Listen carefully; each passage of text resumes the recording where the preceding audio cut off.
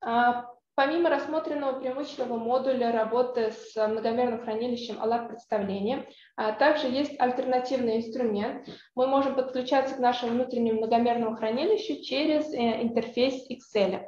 Продемонстрирую это на примере нового Excel файла. Создам Excel файл.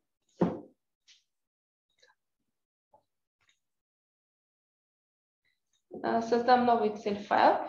И здесь э, будет достаточно перейти во вкладку «Данные», и если у меня уже настроено подключение к существующему стенду, то я могу выбрать существующее подключение, и здесь в списке у меня отобразятся настроенные подключения к AHD.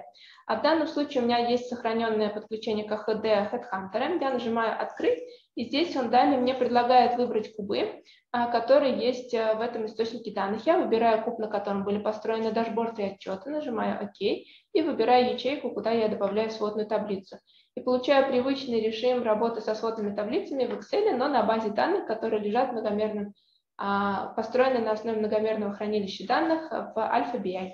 Здесь я могу выбрать, ну, как в обычных сводных таблицах, воспроизвести, в принципе, те же а, отчеты, выбрав количество вакансий, а, количество, вернее, так, сумму зарплаты от и до, и, например, добавить период на ось и добавить а, отечественное и open source, отечественное и зарубежное ПО в область, а, например, столбцов, и добавить тип занятости в области фильтров.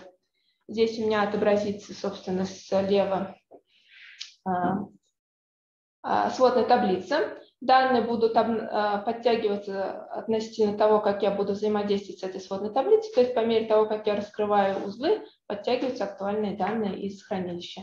Также применяются фильтры, которые я здесь настроила. Например, выберу полный график, данные отфильтруются.